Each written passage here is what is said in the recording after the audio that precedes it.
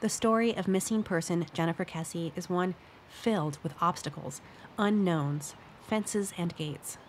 Today, the condo complex where Jennifer lived appears to be securely gated off, inaccessible to any undesirable trespassers or onlookers.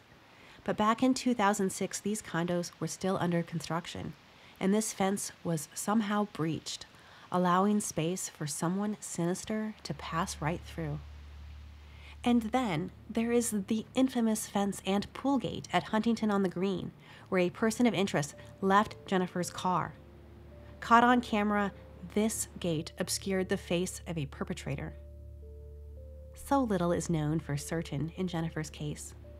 With dated footage and no clear picture of the suspect, just about everything is up for debate. Are they a man or a woman? How tall are they really? A bloodhound traced the scent of the driver all the way back to Jennifer's condo complex, along a busy street midday on a Tuesday. This timeline puts the suspect arriving at her place minutes before her family gets there, just beginning their desperate search for Jennifer. How closely did their paths cross? Is it possible that they met her abductor that day?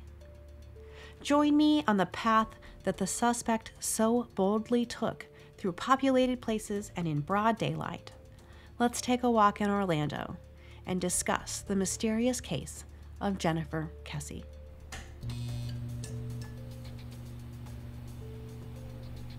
Very little is known about the suspect in Jennifer's case, but we can almost certainly say that they were unfamiliar with the Huntington on the Green condominiums. The person parks her car and proceeds to walk directly in front of the only two exterior cameras in the whole complex. The timing of their steps matched to the frames of the surveillance video is so incredibly frustrating as someone who wants to see Jennifer found, but it can only be described as dumb luck for the suspect. Surely, if they knew about the cameras, they would have taken a different route. They could have just as easily gone between the buildings, actually, back this way, to avoid the chance images captured on the visible pool house camera. But they didn't. Instead, the driver, referred to most frequently as the person of interest by law enforcement, parked Jennifer's car here, in this parking spot, at one minute before noon, Tuesday, January 24th, 2006. The person of interest waited 32 seconds before leaving the car, likely taking the time to wipe it clean of their prints before walking away without looking back.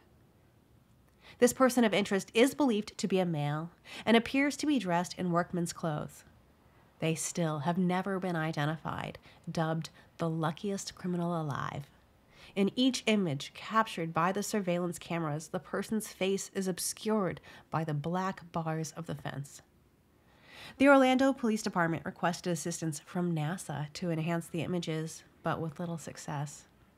The FBI reviewed the footage and, through rigorous testing, estimated the person to be between 5 foot 3 and 5 foot 5 inches tall, with notably large feet for their height. They left Jennifer's black Chevy Malibu at the Huntington on the Green condo complex and, according to police, walked the 1.2 miles down Americana Boulevard, back to where Jennifer lived, at Mosaic at Millenia. This walk, which we are now embarking on, takes about 20 some minutes to complete. Jennifer's brother Logan was said to arrive at around 12:30 that afternoon. Was the suspect in her building when Logan got there? Who has the answers about Jennifer? Someone holds the truth. 24 year old Jennifer Kesse was reported missing when she failed to show up for work on the morning of Tuesday, January 24, 2006. It was out of character for Jennifer not to come to work, especially without notice. So when calls to her cell were unreturned, staff at her office reached out to her family. Jennifer's parents were immediately alarmed. They also knew that if Jennifer was going to be late for work or a meeting, she would have called. Jennifer was a reliable, responsible, and career minded young woman. When their calls to Jennifer's phone went straight to voicemail, they made the quick decision to drop everything and drive the more than 80 miles to where she lived. Jennifer's condo, which she had recently purchased with her own funds, was in Orlando, Florida, in the gated community of Mosaic at Millenia, across from a popular mall at Millenia. Described as loyal, loving, intelligent, and kind, Jennifer had lived in Orlando since starting college at University of Central Florida. She had studied finance and graduated in 2003. While at college, her sorority sisters nicknamed Jennifer Mother Hen because of the way that she looked after everyone, making sure her sisters were safe. Jennifer was known for being cautious and a stickler for personal safety. Prior to starting a family, Jennifer's parents, Drew and Joyce Kesse, had once been held at gunpoint during a home invasion. As a result, they often talked with their children about worst case scenarios and what to do in the event of a dangerous situation. Jennifer was known to use her cell phone to make safe calls, talking with others if she was walking to her car or home at night alone. She was an unlikely victim and not someone who would put herself into a risky position or place. Her new home at Mosaic at Millenia was supposed to be a safe and secure location. During their panicked drive that fated Tuesday, when Drew and Joyce received word that Jennifer had not arrived at work, they called everyone they could think of. No one knew where Jennifer was. They called her brother, Logan. They called hospitals. They called the police. They called the condo manager, who checked that her door was locked and confirmed that her car was not in the parking lot. That afternoon, when her family arrived in Orlando, the condo manager let them into Jennifer's home. The place was clean and orderly, mostly. Her bed appeared to have been slept in, and several outfits were laid across it. Wet towels and toiletries were out in the bathroom. It looked as if she'd gotten dressed and ready for work as normal. Her contacts were not in their case, and her new Nine West alligator pumps were gone. Jennifer's cell phone, purse, and keys were also nowhere to be found. They noticed that her suitcase was still packed and had been set down by the door. Jennifer had just returned from a trip to St. Croix with some friends and her boyfriend, Rob Allen. Rob Allen was a British expat living in Fort Lauderdale, Florida, about three hours south of Orlando. The two had been dating for a year and showed their commitment by frequently making the long drives to see each other on the weekends. Their flight back from the Caribbean had returned to Florida late Sunday night. Jennifer had woken early the next day, on Monday, to make the drive from Rob's home in Fort Lauderdale straight into work at her job at Central Florida Investments. Jennifer excelled at work and had already been promoted twice at the resort and timeshare company. After spending a full day at the office, she left at around 6 p.m. It's the last confirmed sighting of her since 2006. On the way home from work, she called her parents and chatted with them about her fun vacation. She had been in good spirits, upbeat and positive. It was the last time they ever spoke to her. The last known contact with Jennifer was a call that she made to her boyfriend Rob at 9:57 p.m. Monday night. They had argued a little, Despite the wonderful tropical trip, a conflict spurned by the long distance in their relationship had soured their last phone call. Because of this disagreement, Rob had not completely panicked when Jennifer had not called him on her way to work that next day, even though the call was part of her usual morning routine. Maybe she was still grumpy about what had been said the night before, he thought. He called her at work, but was told that she had not yet arrived. When she missed an important meeting that morning and still no one could reach her, Rob knew that something terrible had happened. He told reporters, She's not that kind of person to just walk off. She's very responsible. Other than their spat on the phone that night before, at no time had Jennifer shown any evidence of discontent with her life, her relationships, or her career. But she was an adult and with no signs of a struggle or a crime, police weren't sure what to think. Her tracks seemed to cease from the time that she usually left her condo for work, around 7:45 that day. Perhaps she had been just so upset about a fight with Rob that she needed some time to cool off. The police decided to wait. Her family, however, was convinced of a disaster. they jumped into action, making flyers for distribution that very afternoon, within hours of her disappearance. Their swift response was both impressive and inspiring. And later that evening, when Jennifer still had not returned home, police declared her a missing person. But law enforcement initially pursued a theory that Jennifer had been abducted late Monday night and not Tuesday morning, based on some cell tower data. Her parents refuted this theory vehemently. The police's proposed timeline of a late night outing did not match the behavior that they expected of Jennifer. It was not how the career focused young woman would have acted. And it was later determined that several cell phone pings had been misinterpreted. This incorrect data had led police to believe that she had been out and about very late that night before, when really she had not been. This meant that in the early days, there was no police focus on Jennifer's condo. It was not examined by crime scene technicians. Jennifer's family's focus was placed solely on finding Jennifer, which meant staying in Orlando. It meant staying in Jennifer's condo. Her mother described how she felt in those early days. Quote, We were basket cases, she said. There was panic, sheer panic.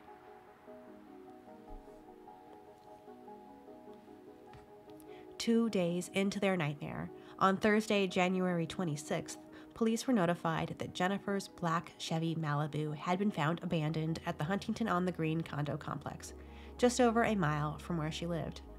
They brought Jennifer's boyfriend Rob to the car for the reveal of an empty trunk.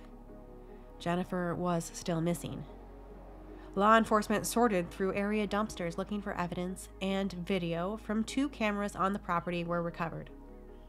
Valuables, including a DVD player, had been left in Jennifer's car, indicating that the motive for moving it had nothing to do with a robbery or a carjacking, but with Jennifer herself.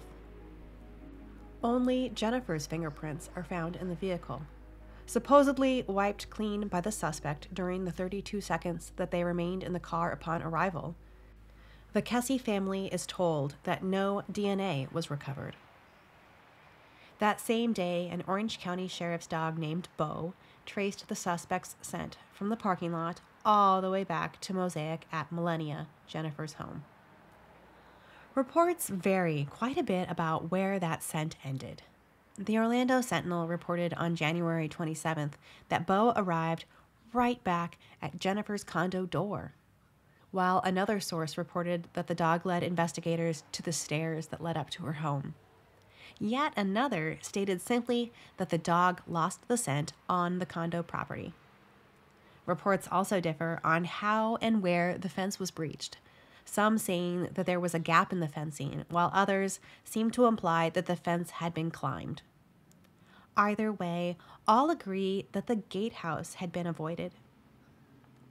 Police were given access to search all of the unoccupied units at Mosaic at Millenia, though the condos that were occupied were only searched with the owner's permission. They also performed a grid search of some woods near to Jennifer's apartment complex. Video surveillance footage from all along this road, the route, was collected, but none of it captured the suspect in her vehicle or on foot. Her family continued to make media appearances, distribute flyers, and create large posters with Jennifer's information on them. The publicity was paying off, and a couple had come forward. They had seen Jennifer's car swerving out of her condo complex that Tuesday morning. They estimated that it had occurred at about 7:40 a.m., but couldn't remember which direction it had turned. It further bolstered the family's timeline that Jennifer had been taken Tuesday morning rather than while out and about that night before a large scale search was announced for Saturday, February 4th, and more than a thousand people showed up to hand out flyers and look for Jennifer. That same day, police released the two images of the person of interest walking by the pool gate. They did have more footage of the car drop, but despite accidentally releasing the video, they asked media not to share it with the public. They had wanted to use the video to check against the story of any suspects they may have interviewed But after months of debate between Jennifer's parents and detectives, and all solid leads exhausted, they finally decided that it would be more useful to show to the public. The grainy and out of focus pool house footage shows her car parking and the suspect walking away. Its timestamp is off by an hour, but they hope that releasing the images from the second camera will generate new leads about that person of interest. Orlando Police Chief Mike McCoy said, quote, We're absolutely positive someone has information we need to bring that young lady home. So far, detectives had looked into over 1,000 leads, and several teams of investigators had reviewed the case, but all had come up empty handed. Orlando Police Lieutenant John O'Grady said, The most frustrating thing for a detective is a whodunit. We don't have a body, and we don't have a suspect identified. Jennifer's boyfriend Rob, who had initially been considered for her disappearance, had been completely cleared by authorities. His alibi checked out and put him several hundred miles away when she was abducted. Just one hour after the press conference, real estate mogul David Siegel, owner of Central Florida Investments, Jennifer's employer, and co star of the famed documentary Queen of Versailles, announced that he would increase the $250,000 reward for her safe return to $1 million.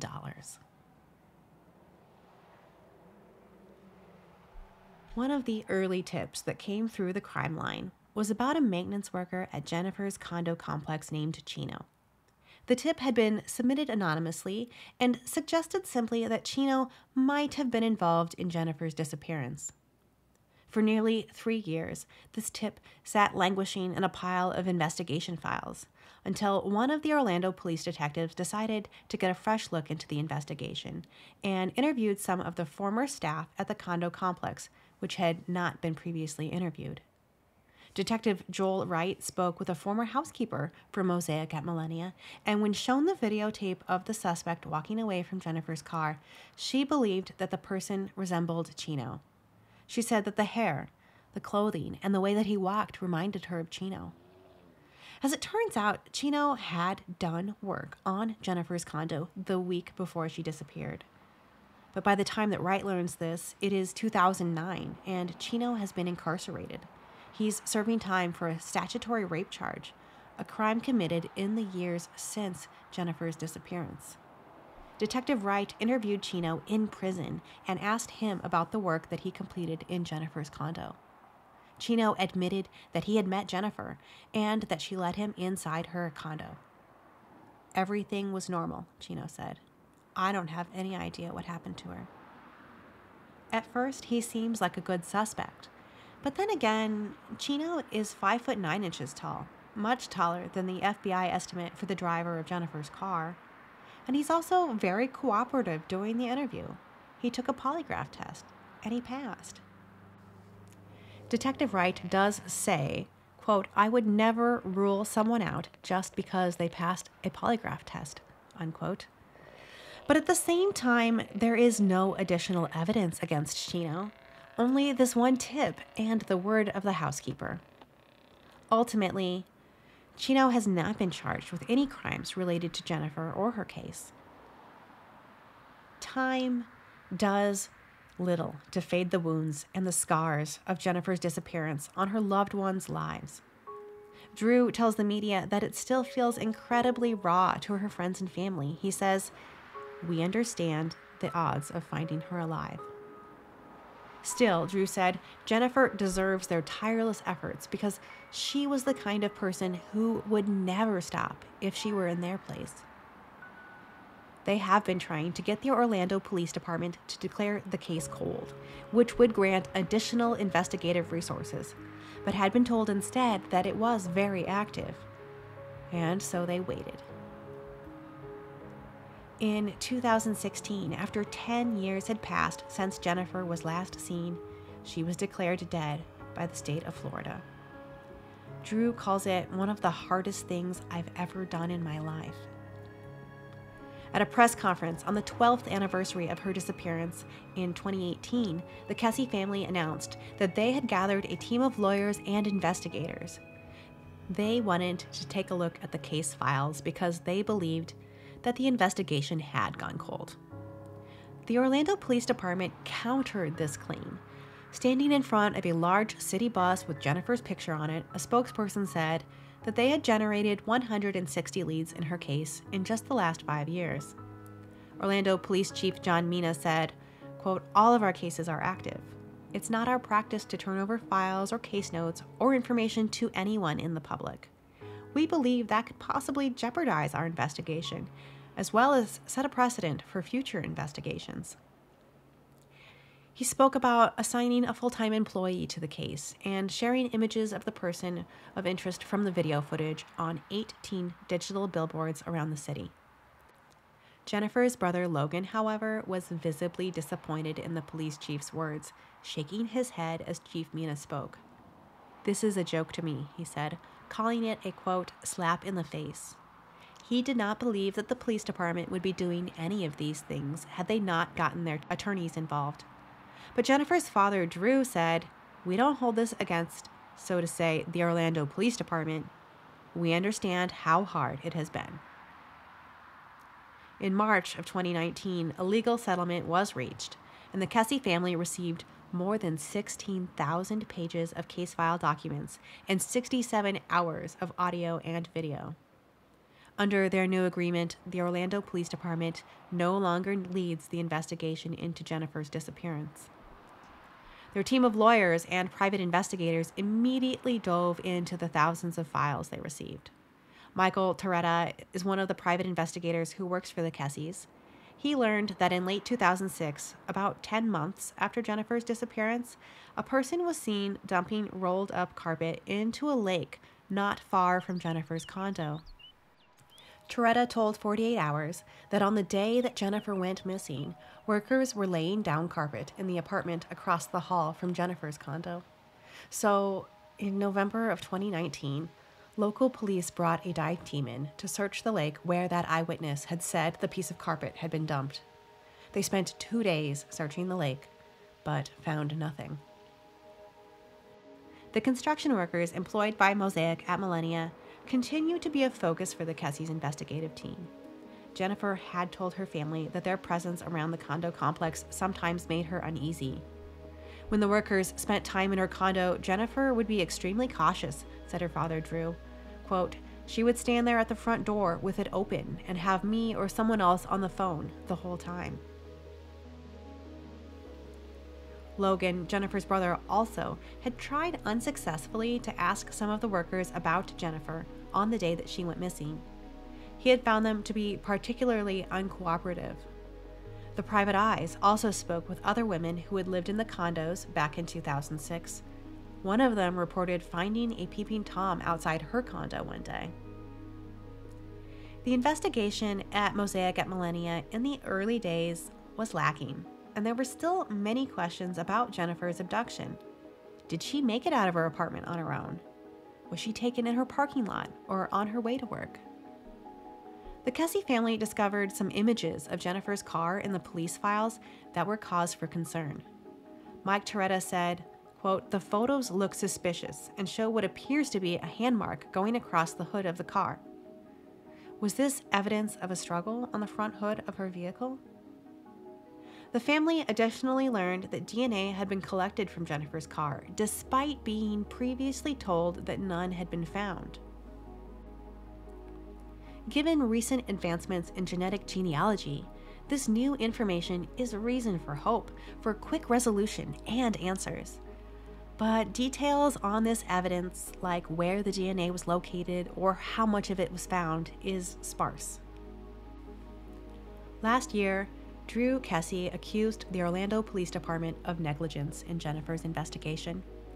They declined to call it a cold case for years, but found that when they received the files in 2019, the lead detective had not written a single report or any document since 2010. Mr. Kesse wrote, quote, we firmly believe the department's negligence and lack of competency cost Jennifer the chance to be found. Because Jennifer's family have taken on the investigation on their own, they do have a GoFundMe, which I will link prominently in the video description. Money donated helps to fund the search for their daughter, which they will not give up.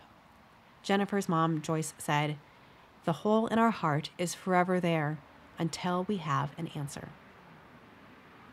I encourage you to share Jennifer's story and the pictures of the suspect in her case, which can be found on their website, jenniferkesse.com. Anyone with information about Jennifer's disappearance should please call the crime line or the Kesse Family Tip Line.